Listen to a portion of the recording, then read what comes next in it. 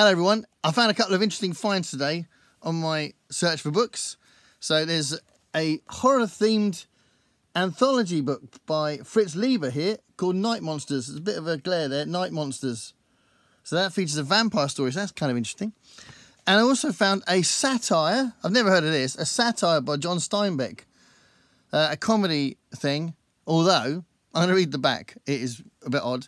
A delightful, sparkling comedy which displays a wonderful new vein of Steinbeck's genius.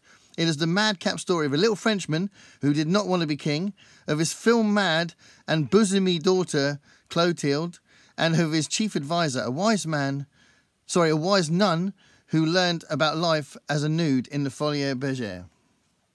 what? The short reign of Pippin the Fourth. Have you heard of this? I haven't.